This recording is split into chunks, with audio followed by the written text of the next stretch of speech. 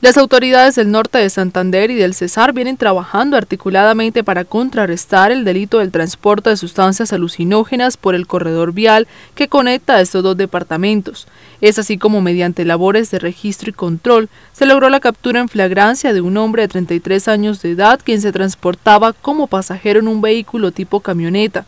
Al momento de realizarle una requisa, los uniformados encontraron en su bolso cuatro paquetes ovalados envueltos en bolsas plásticas de color negro, que en su interior contenían más de 3.000 gramos de base de coca, la cual, según la Policía Nacional, está avaluada en aproximadamente 10 millones de pesos. De inmediato esta persona fue capturada y posteriormente trasladada y dejada a disposición de la autoridad competente, donde deberá responder por los delitos de tráfico, fabricación y porte de estupefacientes. La fuerza pública señala que es de su prioridad lograr contrarrestar este delito que afecta la seguridad y convivencia ciudadana.